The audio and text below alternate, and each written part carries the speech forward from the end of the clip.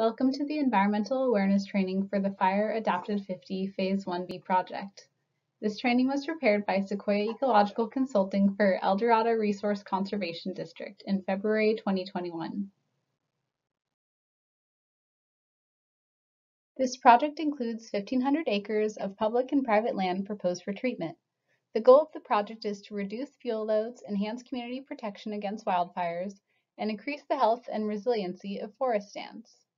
The treatment will be a combination of thinning, chipping and mastication of brush and smaller trees, and hand treatments, including brush cutting, hand thinning, and pruning. These are proposed to reduce vegetative density in selected stands and to change the structure of live and dead vegetative material. The training will address sensitive resource avoidance and general best management practices, or BMPs, which apply to the project, in accordance with state and federal law and with the project's plans, specifications, and contract documents. All personnel working on the project, including subcontractors, will be required to review this training prior to beginning work. This project is located in the wildland-urban interface. The WUI is the area where human homes border the edges of wildlands. In order to protect these sensitive areas, fuels reduction managers have identified defense zones and threat zones. Defense zones are generally the area up to a quarter mile out from communities, which are associated with higher densities of residences, commercial buildings, and other facilities. Threat zones generally extend approximately one and a quarter miles out beyond the defense zones. The borders of defense and threat zones are determined following national, regional, and forest policy and their locations help inform fuels protection activities, such as fuels management. Fuel treatments in wildland-urban interface are designed to reduce the spread of and intensity of potential wildfires. Local fire management specialists determine the extent, treatment orientation, and prescription for the WUI based on the area's fire history, local fuel conditions, historical weather patterns, topography, and access. Fuels management and mechanical thinning treatment is designed in accordance with the design criteria detailed in the Sierra Nevada Framework, which is a comprehensive forest management plan for the Sierra Nevada area. This environmental training will cover the regulatory framework surrounding our project, sensitive resources which have potential to occur in the project, best management practices, and the environmental training sign-in. Federal, state, and local laws, as well as contractor or agency policies, provide for the protection of wildlife and natural resources. Some laws include substantial fines and penalties. These include the Federal Endangered Species Act, the California State Endangered Species Act, the California Environmental Quality Act, the Migratory Bird Treaty Act, California Fish and Game Code, and the U.S. Forest Service rules and policies. Section 9 of the Federal Endangered Species Act prohibits the take of endangered or threatened species without special exemption. To take is defined in the law as to harass, harm, pursue, hunt, shoot, wound, kill, trap, or collect, or attempt to engage in any such conduct. To harm is further clarified in the U.S. Fish and Wildlife Service language to include significant habitat modification or degradation that results in the death or injury of a listed species. These activities are punishable by fines of up to $100,000 and or imprisonment for up to a year. Critical habitat for threatened and endangered species are specific geographic areas designated by the U.S. Fish and Wildlife Service that have their own protections from impacts and degradation. The California Endangered Species Act is similar to the Federal Endangered Species Act, but it is regulated by the California Department of Fish and Wildlife. There are designated California state threatened or endangered species, but the state does not designate critical habitat. Species in California may be designated as a species of special concern, which means that they are at risk of becoming threatened or endangered. Approximately 250 species are currently listed in California as either threatened or endangered. Penalties for violation of the California Endangered Species Act can include fines of up to $50,000 and or up to one year of imprisonment. Pictured on the right is a foothill yellow-legged frog, which is a California endangered species and a Forest Service sensitive species. The California Environmental Quality Act, or CEQA, requires public agencies to thoroughly review new projects for potential impacts, including impacts to noise pollution, air and water quality, culturally and biologically sensitive resources, and aesthetic impacts to the public. This review process requires projects to either fully avoid impacts or to mitigate significant impacts to resources. CDFW works with the California Native Plant Society to maintain lists and designate plant species within a California Rare Plant Rank, which are assessed during the CEQA review. The California Fish and Game Code also regulates projects such as the Fire Adapted 50 project. The Native Plant Protection Act preserves and protects 64 plant species, subspecies, and varieties, which are endangered or are rare native plants take of these species is prohibited without prior notification to CDFW. The National Environmental Policy Act, or NEPA, is similar to CEQA, but applies to projects that are, occur in federal jurisdiction, such as on federal property. California projects may undergo either CEQA or NEPA, or undergo both, or be exempted from both, depending on the location, jurisdiction, and project activity. NEPA establishes policies, goals, and means for carrying out policy for protection of the environment. It also requires environmental review of large projects. The Forest Service Sensitive Species Program includes material that informs forest management practices to ensure that species do not become threatened or endangered because of Forest Service or Forest Service approved actions. The Forest Service has a designated list of species for each national forest, called Forest Service Sensitive, and these may require special management. The Migratory Bird Treaty Act, administered by the U.S. Fish and Wildlife Service, regulates migratory birds and their nests. This law states that it is unlawful to pursue, hunt, take, capture, kill, attempt to take, capture, or kill, offer for sale, sell, offer for purchase, purchase, deliver for shipment, ship, cause to be shipped, deliver for transportation, transport, cause to be transported, carry, or cause to be carried by any means whatsoever, receive for shipment, transportation, or carriage, or export at any time or in any manner any migratory bird or any part, nest, or egg of such bird.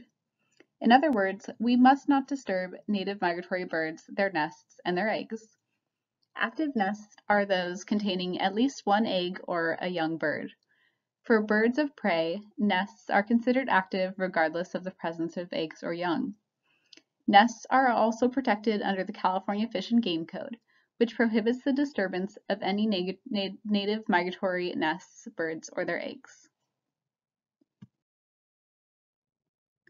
There are several laws that apply to the protection of wetlands and waterways in California. The Federal Clean Water Act regulates the discharges of pollutants and obstruction of flow to waterways, wetlands, and tributaries in the United States. The California Fish and Game Code, Section 1602, requires that CDFW be notified prior to the beginning of any activity that may divert or obstruct the natural flow of, change the bed, channel, or bank of, use material from, or deposit any material into a river, stream, or lake in California. Forest practice rules also include guidance that are in compliance with CEQA, the Water Quality Act, and the Endangered Species Act, which were developed to assist foresters in complying with these regulations when performing timber harvest plans within California forest districts. Prevention of the spread of invasive species is an increasingly common concern across the United States. An executive order within the National Environmental Protection Act prompted the Forest Service to create the Invasive Species Management Program, which requires contractors to make every effort to prevent the accidental spread of invasive species carried by contaminated vehicles, equipment, personnel, or materials. The Forest Service Manual also includes guidelines to prevent the spread of invasive species. Pictured on the right is Scotch broom, a very common and invasive species that may be encountered in or near work areas.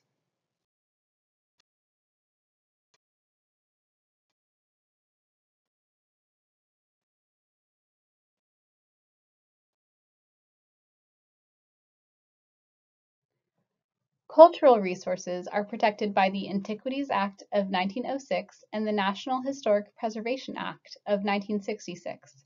These protect cultural resources and require federal agencies to assess the effects of any agency-sponsored undertaking on cultural resources.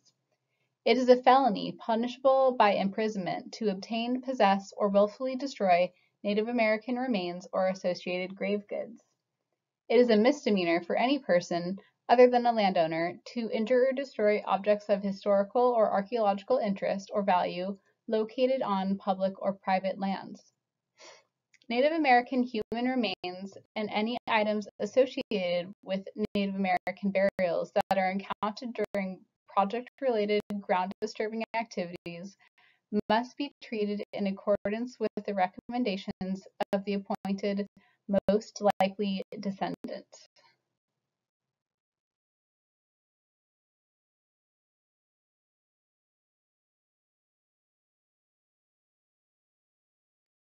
Sensitive resources with potential to occur in the project area include nesting birds, threatened and endangered species, other sensitive species, sensitive natural communities such as lava cap habitats, rare plants, cultural resources, and water resources.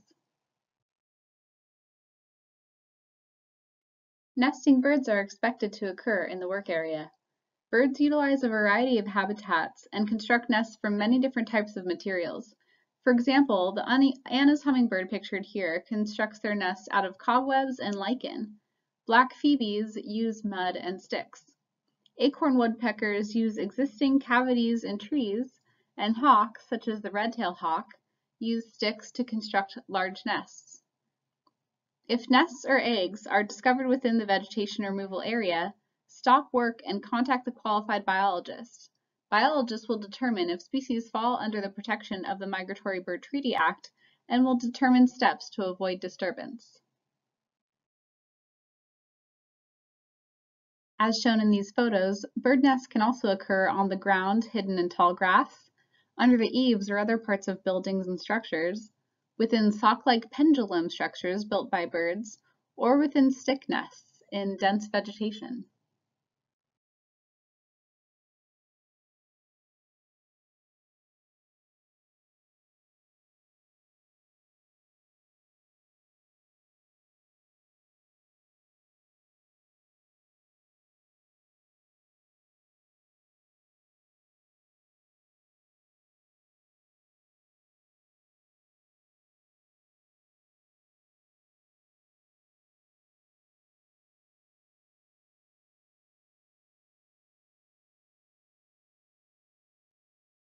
The California spotted owl is a California state species of special concern. There is an ongoing lawsuit regarding their federal status, but they are not currently federally threatened or endangered. The species is expected to become listed in the coming years, so most ma managers recommend designing projects to protect them as if they were already listed as threatened or endangered. The spotted owl is a medium-sized chocolate-covered owl with white spots on the chest and belly area. They have dark eyes, no ear tufts, and a barred tail. Female spotted owls are generally larger than males. Their facial discs are dark brown with pale marks forming an X between the eyes. Spotted owls can be misidentified as barred owls, a species which is not native to California and is directly contributing to their decline. If these owls are seen near a worksite, please inform the biologist for further investigation. The California spotted owl subspecies is limited to the Sierra Nevada, spanning north into the southern Cascade Range in Shasta County and south into Kern County, and discontinuously throughout the mountains of Southern California. Spotted owls inhabit forests characterized by dense canopy closure of old-growth trees, logs, standing snags, and living trees with broken tops. Although known to rest and forage in several different habitat types, these owls prefer multi-layered canopies with enough space for them to navigate between branches. Typically, forests do not obtain these characteristics until 150 to 200 years of succession. The spotted owl mostly hunts at night for small mammals such as wood rats, flying squirrels, deer mice, and voles, but have been documented feeding on birds and insects as well. They prefer to nest in sheltered sites and do little in the way of nest construction. They usually use old stick nests or make a simple scrape in the cavity of a large tree. Young fledge the nest after about five weeks, but still require the care and supervision of the parents.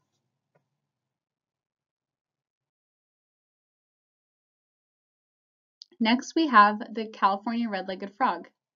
This is a federally threatened species listed since 1996 and is also a California state species of special concern.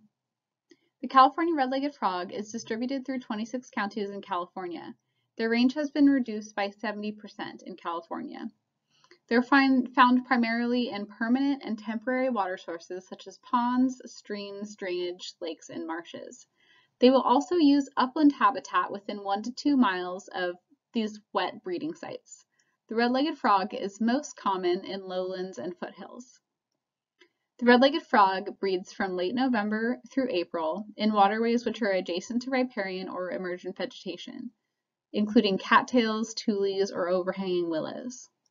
Red-legged frog are active during the day all year except in wetlands that dry out in the summer.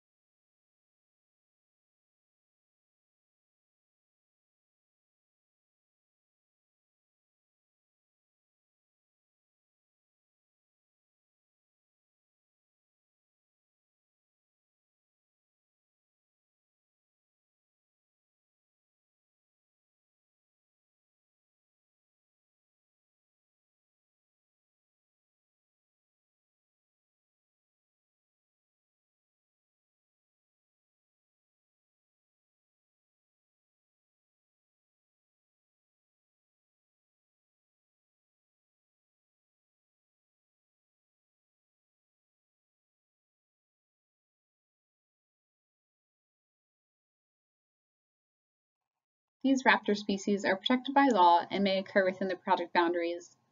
The northern goshawk nests in steep-sloped coniferous forests with large trees and open understories. Northern goshawk is not expected to be nesting in or near our project areas, but it is known to occur nearby, so we should be aware that they may occur and be careful to avoid potential nests. Bald eagle are a California fully protected species and are also protected by the Federal Bald and Golden Eagle Protection Act. The bald eagle nests are extremely large and noticeable, and typically are built along the margins of lakes and riparian areas. One pair of bald eagles is known to nest near Jenkinson Lake. Bald eagles are not expected to nest within our project boundary, but they are known to be nearby.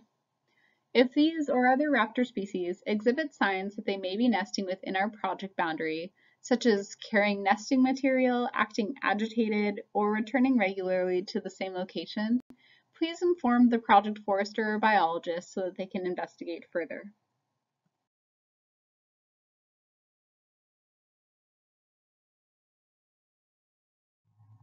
Lava cap habitats are a rare soil type found only in portions of the Sierra Nevada, including the El Dorado National Forest and the surrounding area.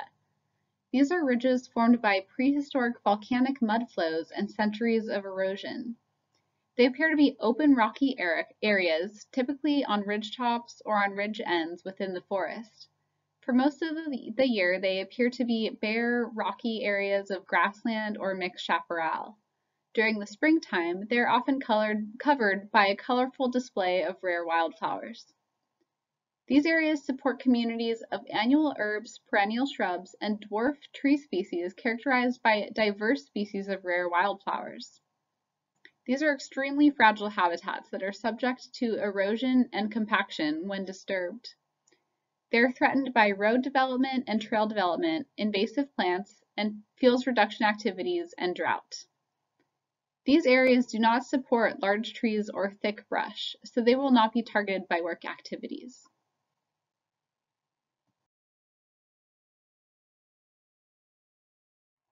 Several rare plants have the potential to occur in our project area.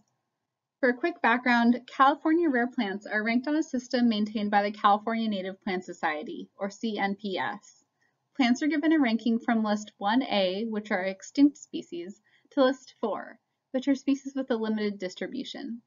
The plants we will discuss here are all California rare plant ranking 1B, which is the most sensitive rating that is not considered extinct. Sawtooth Lewisia on the left is a California rare plant ranking 1B1. It's also Forest Service sensitive and a California species of special concern. Sawtooth Lewisia blooms in May and June and grows in rocky outcrops and riparian scrub in woodland, yellow pine forest, and mixed evergreen forest. On the right, we have the Pleasant Valley Mariposa lily, which is a California rare plant ranking 1B2. It's also a Forest Service sensitive species. This beautiful flower blooms from May to July and grows in open oak and yellow pine forests. This species is associated with lava cap communities.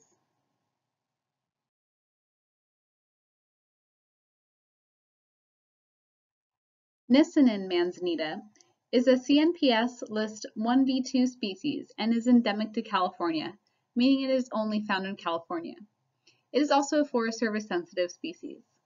This species blooms in February and March and grows on open rock shale ridges in chaparral and woodland habitats. It can be difficult to distinguish from other manzanita species. On the right, we have the Red Hills soaproot, which is a CNPS 1B2 species and is Forest Service sensitive. This species blooms in May and June and grows in serpentine outcrops, open shrubby or wooded hills, in chaparral, foothill woodland, and yellow pine forests.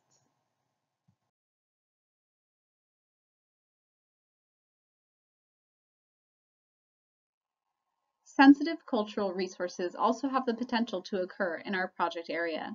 These are material byproducts of human activity, which can be physical objects, sites, and structures, such as grinding stones, bowls, obsidian, or chert flakes, or shell beads. They could also be potential burial sites, such as bones and human remains, ore mines and adits or shafts. Cultural resources are significant in helping us understand our shared human history, and they're non-renewable, meaning once they are destroyed, a fragment of our collective history is lost forever. Riparian resources and water bodies have the potential to occur in our project area as well. This includes all rivers, streams, creeks, ponds, lakes, all water bodies in, adjacent to the work area. For the purposes of protection, waterways are categorized into three classes with different protections. Class 1 is fish-bearing streams. Class 2 support aquatic life and typically flow year-round, while Class 3 are intermittent streams and they do not support aquatic life. All streams and riparian vegetation will be protected through implementation of the forest practice rules on private land, and they'll be protected through the decision criteria on Forest Service land. Best Management Practices, or BMPs, encompass all required and recommended guidance related to the various regulations controlling a project. Several types of surveys will be conducted in order to inform the implementation of our best management practices. General pre-activity surveys will be conducted at all sites that do not require a specific pre-implementation survey. These will be conducted by a biologist, a registered professional forester, or a cultural resource specialist prior to the start of work. The purpose of these surveys is to flag off sensitive resources that require avoidance, including lava cap habitats, riparian resources, noxious weeds, areas that are susceptible to erosion, or any other sensitive resources that may be present.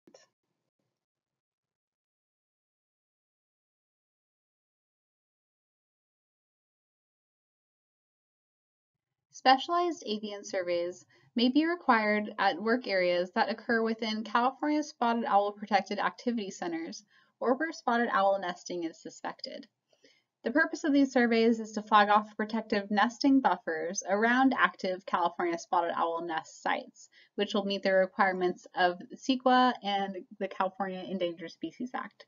It should be noted that active migratory bird nests may be encountered during general pre-activity surveys.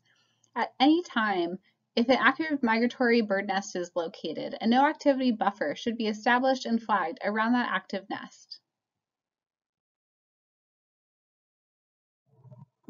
Red-legged frog visual encounter surveys may be conducted in areas within a mile of suitable breeding habitat within the de Pollock Pines field break. These will be conducted by a biologist to determine whether red-legged frogs are present or absent within the one mile buffer of the suitable breeding pond. If no frogs are found, red-legged frogs are assumed to be absent in the area and no LOP or limited operating period will be used. If red-legged frogs are detected, the following limited operating period will be used. No work will occur during and after any precipitation event that delivers a quarter inch or more of rain when it occurs between October 15th through April 15th. Work can occur during the summer months from April 16th through October 14th without any LOP restriction.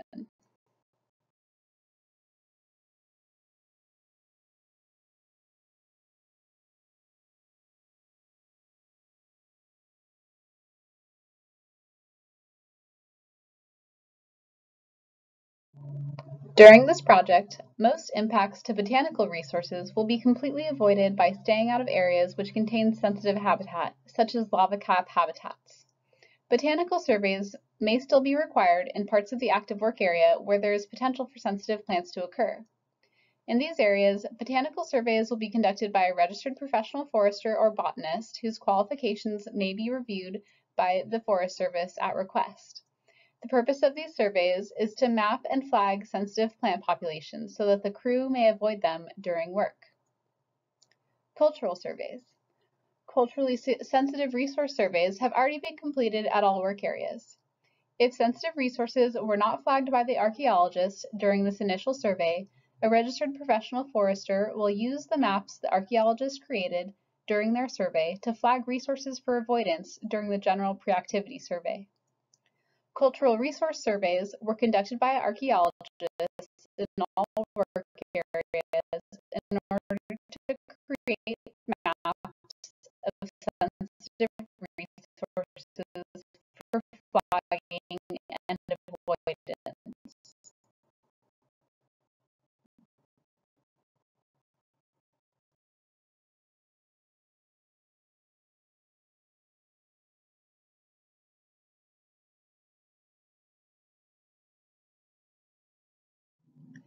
Best Management Practices, or BMPs, are specific to a project. They combine all required and recommended guidance related to the various regulations controlling the project. They're practices that reduce the impacts of the project on the public and environment.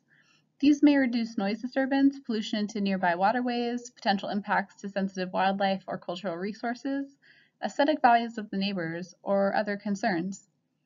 They are guidelines that help us operate within the legal bounds of all regulations and laws. Some BMPs are legally binding and help us to avoid costly fines. Some BMPs help us maintain trust and cooperation within our community, property owners, and agencies. BMPs help us to comply with the environmental and other laws that apply to our project. Nesting birds. In order to comply with all laws related to the protection of birds, all personnel will receive nesting bird awareness training. Before work at each new site, a pre-activity survey will be conducted to determine the presence of nesting birds, and protective buffer zones will be established and maintained around all active bird nests. Pre-activity surveys are very important to identify new nesting birds.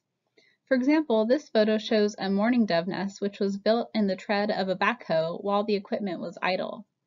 It's important to check equipment, tall vegetation, and structures for new nests each day when work occurs during the nesting season. The forester or biologist will inform the crew of the nest status or whether the nest is active and describe steps to avoid impacts. This may include establishment of a nest buffer. A nest buffer is a protected area around the nest within which work will not occur until after the nest has fledged or the chicks have flown away.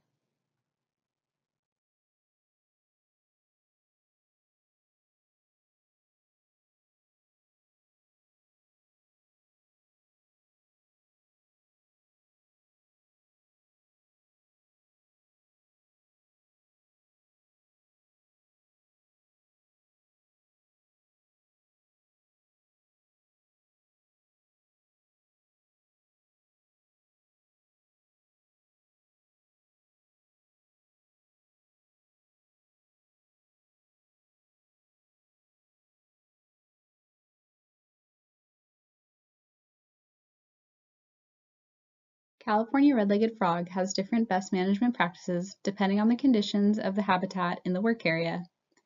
Some mastication restrictions apply in areas near suitable red-legged frog breeding habitat.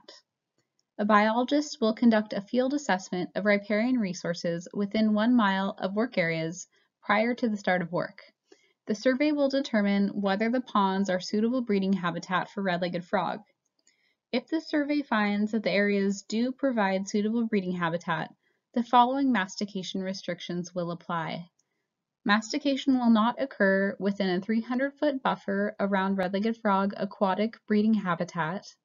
Mastication will not occur within a 300-foot buffer of all perennial streams or special aquatic features located within one mile of aquatic breeding habitat and it will not occur within a 150 foot buffer around intermittent or ephemeral streams located within one mile of aquatic breeding habitat.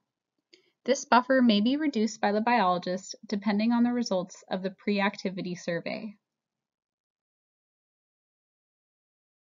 The California Red-Legged Frog Rain Events BMP applies when work is occurring from October 15th through April 15th and when work is occurring during and after any precipitation event that delivers a quarter inch or more of rain. When these qualifications are met, a limited operating period, or LOP, shall apply, prohibiting the use of mastication equipment, pile burning, and prescribed burning within one mile of any red-legged frog breeding habitat. These activities will be allowed to resume after a 72-hour drying period. The BMP would not apply to location where pre-implementation surveys of potential breeding habitat find no evidence of red-legged frog occupancy or breeding.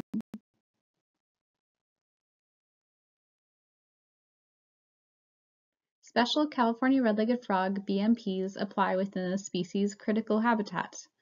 Critical habitat is an area of the species range which has been determined critical for the species survival. This designation was created by the U.S. Fish and Wildlife Service for species which are listed as threatened or endangered. Within our project area, portions of the Sly Park region south of Highway 50 fall within red-legged frog critical habitat.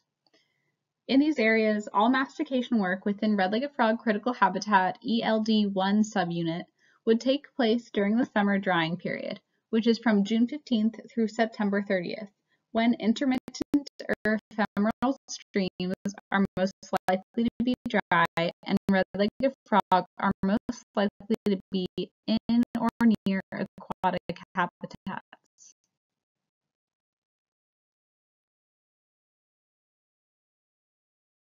In order to protect unique plant communities, lava cap habitat areas will be demarcated with flagging, stakes, or something similar prior to the initiation of work.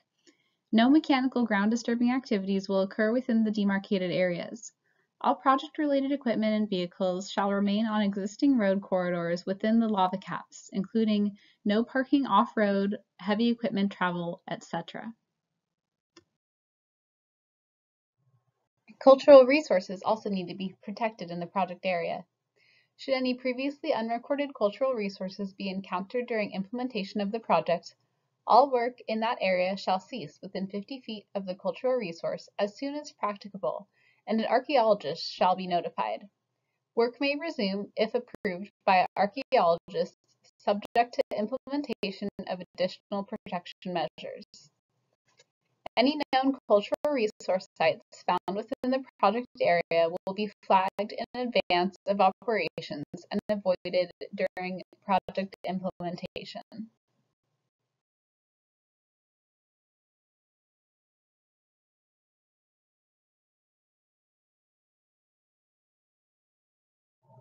All contractors shall meet applicable regulatory requirements to ensure that any discharges to surface waters will not cause violation to the state water quality standards. On U.S. Forest Service land, heavy equipment is limited within 15 feet of any water course. The following measures are recommended for work on private land. Heavy equipment is limited within 25 feet of Class 3 waterways, 50 feet of Class 2 waterways, and 75 feet of Class 1 waterways.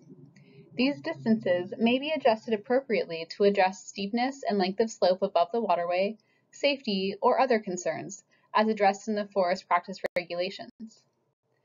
Whether on private or public land, the zone of protection shall be clearly identified on the ground with paint, flagging, or other suitable means prior to the start of work. No equipment operations will be permitted within these zones.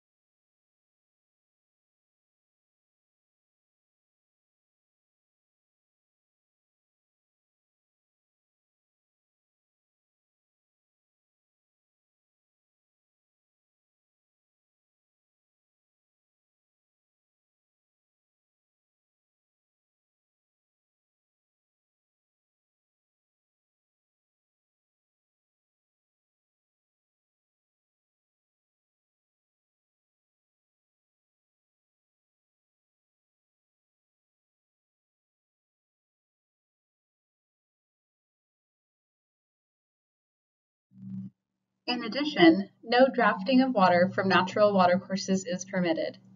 If needed, water breaks will be installed at spacing as prescribed by the forest practice rules on any areas that are compacted due to equipment operations. The contractor is required to remove processed materials from roadside ditches where it impedes flow or any water conveyance systems. During the pre-activity survey at each project site, Areas of known infestations of invasive plant species will be flagged for avoidance. If project activities cannot be completely avoided within the flagged infestation areas, strategies to prevent the spread of infestation will be employed, including working in the infested area last, working in the infested areas when propagules are not viable, or in other words, when the plant does not contain reproductive parts, such as the spiky seed-filled bud of a yellow star thistle pictured on the right. Uh, crews shall limit the number of people or equipment within the infestation, and crews can clean mechanical and hand equipment, clothing, and boots, etc. after leaving the infested area. In addition, the following practices shall be implemented. Off-road equipment shall be cleaned to ensure it is free of soils, seeds, vegetative matter, or other debris to prevent the introduction or spread of invasive plants.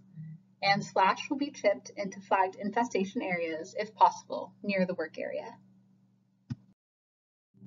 The project may be conducted during the winter operating period. The winter operating period applies to work that occurs between November 15th and April 15th. If work occurs during this time, the following BMPs apply. Heavy equipment cannot be used under saturated soil conditions.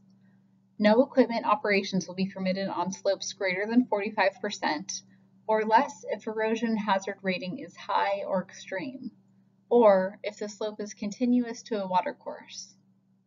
And mechanized mastication equipment shall be prohibited on saturated soils when there is a risk of detrimental compaction or rutting.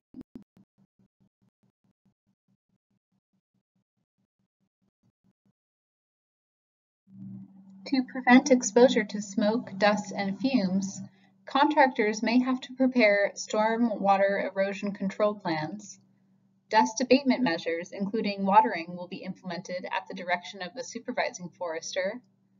No visible dust transport will be permitted outside of project boundaries, and all equipment will conform to California emission standards. The following BMPs apply to public safety, noise, and other optics. Warning signs shall be posted in work areas to alert oncoming traffic and recreational users. All equipment will meet or exceed state standards for noise control. Hours of operation will be limited to 7 a.m. through 6 p.m., Monday through Saturday. Vehicle speeds will be limited to 15 miles per hour on dirt roads and surfaces. Where mastication is employed, the maximum depth of masticated material will not exceed 6 inches, and the maximum stump height on cut trees will not exceed 4 inches on the uphill side. Before beginning fuels reduction activities, all contractor personnel are required to attend an environmental training program. The training program will be completed in person or by watching a video presented by the project biologist. Be sure to sign the sign-in sheet at the end of this training to assist in tracking. Please reach out to the project contacts listed here with any questions.